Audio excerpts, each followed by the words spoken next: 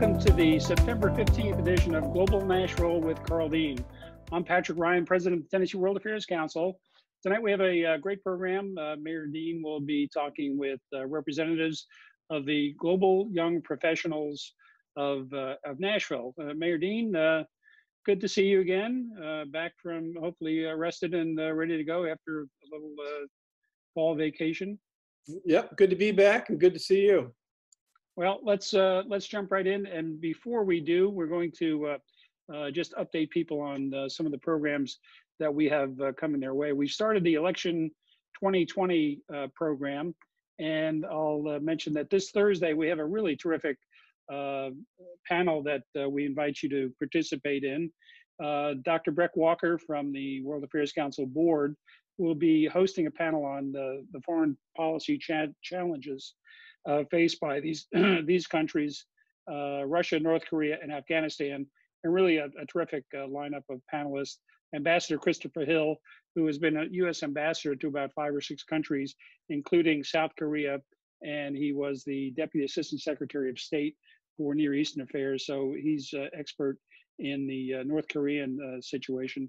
Minister Counselor Annie Pforzheimer served as the Deputy Chief of Mission in the embassy in Kabul and as the Deputy Assistant Secretary of State for Afghanistan. So she's going to talk about the challenges there.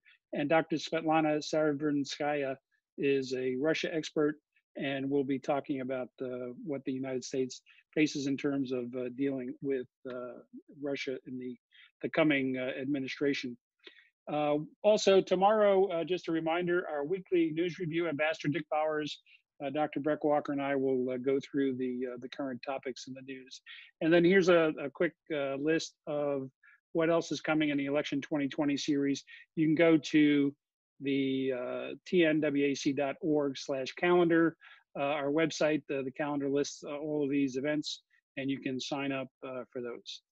So um, that's it in terms of what's what's coming up.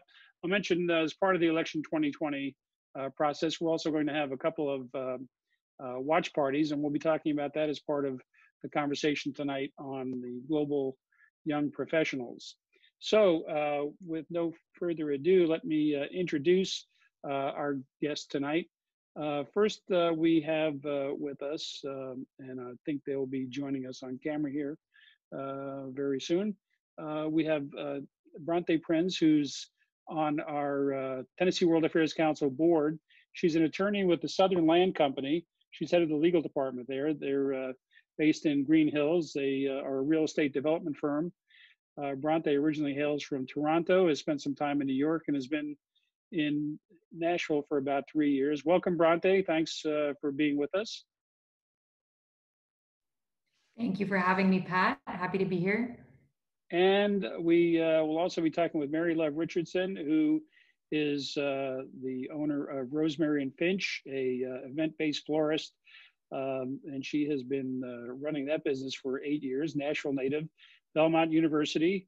Uh, and she is an intern on the uh, Tennessee World Affairs Council board, also a graduate of the Young Leaders Council. And that's how she became acquainted with the World Affairs Council. So, uh, welcome, uh, ladies. Uh, we're so happy to, to be able to talk about the Global Young Professionals organization here in Nashville, and I will turn it over to uh, to Mayor Dean.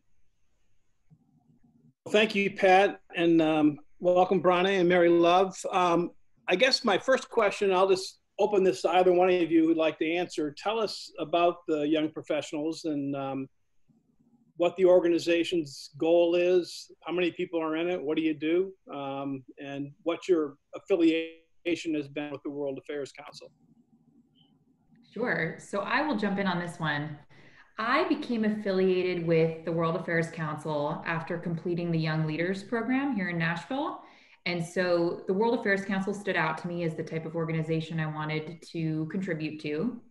And when I joined, Pat and I got together and talked about the demographics, the types of people that were typically coming to World Affairs Council's events. And in our discussion, we talked about how the group was hitting a lot of college age students and a lot of people that were in their later years, but that there was a significant gap from the around 21 to 40 year old range where their attendees just weren't coming to events. And so Pat and I decided to come up with a young professionals group that could be connected to the World Affairs Council uh, with a focus on net- networking and connecting people, many of whom are new to Nashville since this is such an evolving city. Uh, but it is a, a, an affiliate of World Affairs Council. We call ourselves YP Global, but we envision a name change at some point. Um, and unfortunately, we were really ramping up and, and collecting new members right when the pandemic hit. And so our progress has been a little slow over the last year, but we're hopeful that in the coming months, when we get back to in person events, that we can garner some attention and get some new people involved, not only for our own programming, but so that we can actually attract more young professionals to the World Affairs Council's general programming. Uh, Mary Love, do you have anything to add? And maybe you could tell us um, how you define young. Um, what are what are uh, young leaders or young professionals? um, I think that's a great summary. I'm I'm new to the group too, so I'm learning.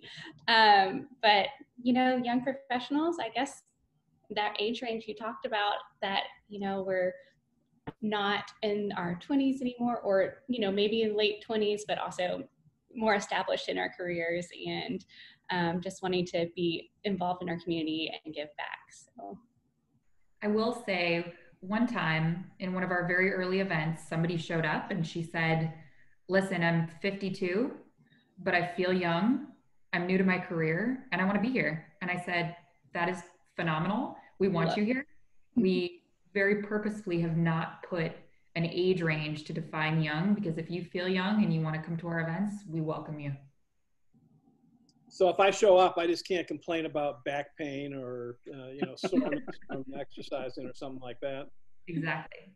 Um, so what what is the tie? Um, do both of you have an interest in world affairs, or, or what led you? You um, you're on the board now, and you're an intern with the with the board, Mary Love. Why are you involved with the World Affairs Council? What led you to, to our organization? Mary Love, you want to go first? Sure. um, so, yes, very interested in world affairs. Um, I grew up traveling, and that has been a huge part of my life. The one time I've actually moved away from Nashville was to be an au pair in Switzerland, um, and just always have been so impacted by knowing what's going on in the world. And especially in the last few years when we've had such wild times in our country politically i feel like it's been an an encouragement to be more involved and to be more educated. Um, so I've been personally working really hard to be educated. And so going through Young Leaders Council um, and searching for a place to have an internship, Tennessee World Affairs Council was really appealing for that, that it's exactly, you know, what I think we all need is to be largely aware of what's going on. So, and of course, there's the, the tie with the World Affairs Council to Belmont University. Your yeah, your that's school. right. So you get a chance to get back over there on campus. Um, well, that's good. That's good. And what part of Switzerland were you an au pair in? I was in Zurich, just like right on Zurichsee. It was beautiful. Yeah, well, that's it's that's got to be the prettiest country. Oh, yes, best mountains in the world. Yeah, Bronte, how about you? What uh, what, how did you end up at the World Affairs Council and what's your interest? So I grew up in Toronto, which is an incredibly diverse and multicultural city. Um, and so I was exposed to a lot of different interesting people growing up and, and it was always part of of my life to just know what was important to other cultures what was going on in other countries so many of my friends had parents who'd been born in other countries and weren't native canadians and when I went to law school, I had a, a, romantic vision of the type of lawyer that I wanted to become, and then ultimately became a corporate lawyer. Um, and so in my career, I don't really have an outlet for exploring global international affairs and issues. I work for a real estate development company and I love it. And I'm very happy with what I do, but I'm missing that outlet. And so when I came across the World Affairs Council, I was very interested, very impressed, and found that it would be a great way for me to stay involved, stay attuned to what's going on in the world, despite the fact that I don't really get to do that in my day to day job. Yeah, well, Toronto is is, is an incredibly diverse city, um, and Canada has an attitude, very positive attitude toward immigration. It's Mhm. obviously part of the Canadian history, and I think uh, most Canadians would say it's going to be a huge part of their future. Um, Nashville, which you're uh, been here a while, you're a Nashvilleian now.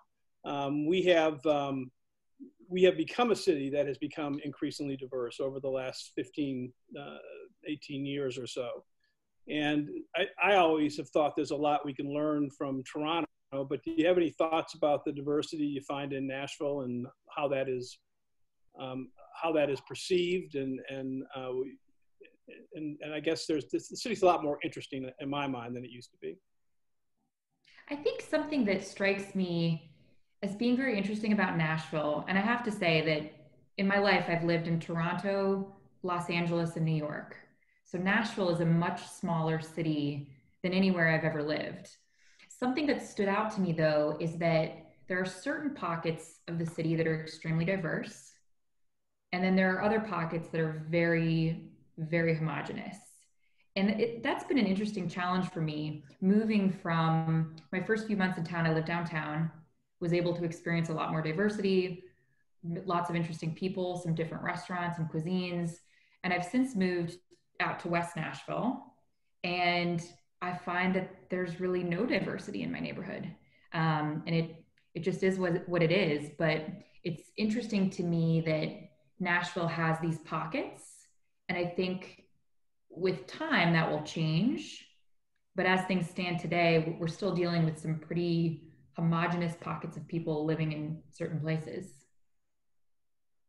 Well, there's been a, a, very much of an increase over the last, again, 10 to 15 years of the number of foreign born folks in Nashville. I mean, you look at the Kurdish population, um, you look at the diversity of people who are attracted to the city because of the strength of the economy, because of entrepreneurship, whether in, in your business or whether in, um, in the music business or healthcare in particular. Um, a lot of new people are, are, are, coming into the city. And I think it's absolutely key for the city to always be um, a friendly, welcoming city. I mean, that's the future. I mean, the cities that are really going to succeed, that are going to be great cities, are cities that are going to embrace diversity um, and be known for the diversity of all sorts uh, of people. I mean, that's what makes cities a compelling place to live. Um, and I think Toronto, as I've said, is a, is a good example of a city that has benefited and, um, from its diversity. Mm-hmm. Absolutely. Well, tell us, um, tell us about some of the programs you have. Um, I'm fascinated by the, um, by the trivia tournaments that you do, and there's a tournament coming up in October. Um, who wants to handle that one, the trivia question? Bronte. All right. so we cannot take too much credit for the trivia because it is a combined effort with various different World Affairs Councils. And so, and Pat, correct me if I'm wrong on this, but this upcoming trivia, which begins in October, we'll start with a, a, local round and then we'll progress to national. I believe that's in conjunction with another World Affairs Council. Yeah, that's that, that's right, Bronte. Uh, we we did this in the springtime, and it was it was very popular, and uh, a lot of people wanted to see it again. Uh, and this is uh, not just the Tennessee World Affairs Council, although the first three weeks of the tournament that uh, will be scheduled for October, uh, those will be the Tennessee tournament. And then in November, two of the uh, winning contestants or teams, uh, this can be a team, uh, team sport, will go on to a national championship match with World Affairs Councils from around the country. So uh, the idea is that we uh, we enjoy uh, a couple of weeks of doing a Tennessee-based competition, and then send our winners on to the, the national round. And, and so, it, is this the questions? The questions were primarily global affairs awareness oriented. Right. So this is all done on Zoom now, right? Yes. Mm-hmm. Yeah. The, and, and, and, and, did you have the the tournaments, the the trivia tournaments before we went into Zoom world? You know, we did have we had a, a separate trivia event, which was very fun. Um, we, we had it at Von Elrod's in Germantown. It was not sponsored by the World Affairs Council. It was a separate YP Global event. But I do think that that generated some interest and got people excited about this new virtual round of trivia. I can't speak for the whole World Affairs Council, but I, I, have a suspicion that when we go back to normal, that the World Affairs Council would be interested in sponsoring an event in a bar where there's beer served. I just just a guess, just a guess. Perfect. that might be out there. Well, tell me what the format is. I mean, uh, so th there are those who love trivia. Obviously, it's uh, it's done uh, all over the country now in cities. What what how does what's the format for this? Uh, Mayor D, we're still we're still building that. The, the format in the uh, previous iteration was the competitors added their scores over three weeks, and then the top two scores went on to the national competition. I think uh, that discouraged some who may not have done well in the first week or the second week, and they didn't uh, tend to show up in the final week. So we want to uh, even this out so that uh, everybody enjoys three weeks of of the competition, and, and we'll worry about how we we uh, sort out the winners uh, in in a, a, conversation that we'll have among the the planning group. Um, but it's uh, it's basically uh, Bronte. Do you recall? I think it was uh, 40 questions in four uh, four rounds of 10 questions each, and mm-hmm. the, the, there were themes, certain themes, but the overall topics were in the realm of world affairs. So uh, people should keep up with their uh, current events on the news. And uh, those will be the weeks of um, the 11th of October, the 18th, and the 25th. And uh, Bronte, I think we did we circle Wednesday nights of those weeks, or are we still uh, looking at the calendar? Wednesday, so that it gives people a break through the week. Um, so yes, if we can do Wednesday, I think that would be great. Okay, so uh, people should just check the calendar on the World Affairs Council website within the next couple of days, and we will have definitive plans uh, on the, the timing and, and how the, uh, the teams will work. But uh, people can get together in teams, especially if they're in their own uh, pandemic bubble together uh, to work together. Uh, we use a, a, program where the answers, you get more points if you answer quickly. So the, the key is not just accuracy, but speed. And I think that that dissuades people from while they're trying to figure out the answer, uh, checking Google on their telephone. Uh, so uh, there's there is some advantage uh, to those who are quick on the button. So it's a little like a college bowl setup, and um, how hard are the questions? Um, hard. you, you, need a good knowledge of what's going on in the world. I, um, you know, among uh, present company, we're we may be more oriented towards following uh, world affairs than than the average uh, participant. But I, I don't think. Um, Bronte, I'll I'll go with your judgment of, of hard, but uh, there there were some some questions there that weren't too tough to figure out. And does it help to have a good background in um, I don't know diplomatic international history, geography, know the capitals, know the borders. There'll, there'll be stuff. there'll be some uh, some geography and, and capitals and uh, and those sorts of things. But I think for the most part, current events is uh, uh would be a, a key uh, indicator to uh, to brush up on to check check the news more frequently in the next couple of weeks than than you might have done in the past. Mm-hmm. I think that's that's part of what we're trying to do is encourage people to become more aware of what's going on in the world. Good. Well, tell me about um, you're going to have uh, young uh, young professional events around the uh, Belmont presidential debate um, on October 22nd, and what is that going to be? that, that is a phenomenal question. and something that we are still thinking through and we're actually open to feedback on because we want to have watch parties. They have to be virtual given the current climate but we want to make sure that they're interesting and that it's not just a collection of people sitting on zoom watching tv not really interacting with each other. So we are in the process of brainstorming and trying to figure out a way to do that and have these watch parties but make them as engaging as possible Brian, Bronte, that might be a good time to talk about uh, your interest in forming a planning committee. Yes. Because the, all of these questions that uh, Mayor Dean is asking us go right to the heart of uh, planning for these events, and we're, we're looking for people to get involved. Yeah, we recently made a decision uh, to appoint a committee of planners to assist with YP Global and our upcoming programming. And so we're envisioning a group of five people, two of whom are present today, me and Mary Love. Um, so three open spots for people who might be interested in assisting us with programming, thinking through ways to make YP Global a better, more engaged group, ways to connect it back to World Affairs Council. And I think most importantly for right now, ways to avoid this Zoom fatigue that a lot of us are experiencing. We're so starved for in person events and to interact with each other. But unfortunately, I think we have a couple more months of keeping things virtual. Um, so if there's anybody out there who's interested, or if you know of someone that might be interested, please encourage them to reach out to us. We have an email address, yp at tnwac.org. Um, and they can feel free to reach out to me or to Mary Love as well, just individually. Um, but we're really excited about it. We think it's going to be a great change to how we do programming and how we think through our events. Good, sounds great. So I, I commend you all for uh, hanging in there with the with the with the virus and all the social distancing we've had to do. It's a little hard to start an organization um, without having direct contact with people.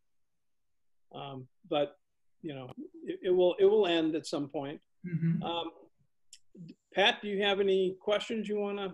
We we do have one one question that came in from a Facebook Live um, via Twitter, and it was uh, how to become more involved in the networking uh, side of this, and what kinds of people uh, are involved already. So we have a, a, pretty solid small network. We're still growing um, but a good network of people from all different types of careers different backgrounds different ages that have been regularly coming to our events which is wonderful. And so i think it presents a great opportunity for people who are interested in making new connections who potentially are